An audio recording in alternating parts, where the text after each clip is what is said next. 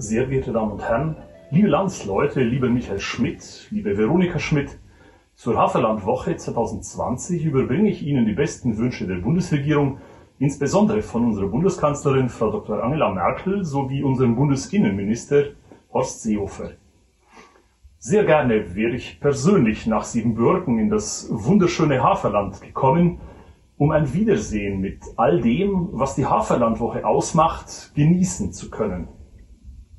Wenn allerdings die Umstände der weltweiten Corona-Pandemie in diesem Jahr ein persönliches Treffen aller Gäste und Teilnehmer nicht möglich machen, so war es eine sehr kluge Entscheidung der Organisatoren, dieses in Siebenbürgen einmalige Kulturfest virtuell sozusagen auf neuen Wegen stattfinden zu lassen.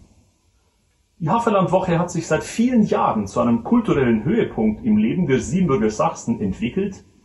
Das ganz Besondere daran ist, erlauben Sie mir diese Feststellung, dass während einer ganzen Woche siebenbürgisch-sächsische Kultur in dem Umfeld gelebt wird, wo diese entstanden ist. Mitten in der Gesellschaft, gemeinsam mit der örtlichen Gemeinschaft. Es ist siebenbürgisch-sächsische Identität zum Anfassen. Sie pflegen so nicht nur ihre eigene Kultur, ihre Bräuche und Traditionen, sondern sie verankern das Wissen darum, bei ihrer mit so viel Freude beteiligten Jugend und im Bewusstsein der Mehrheitsgesellschaft.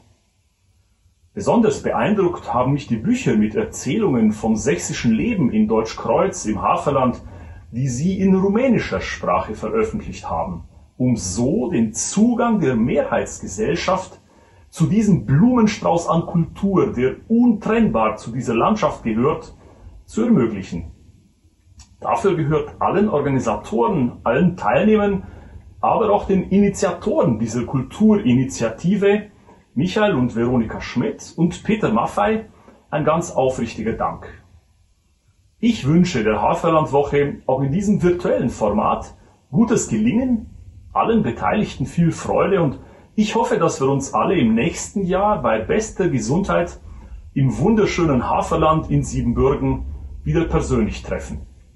Alles Gute!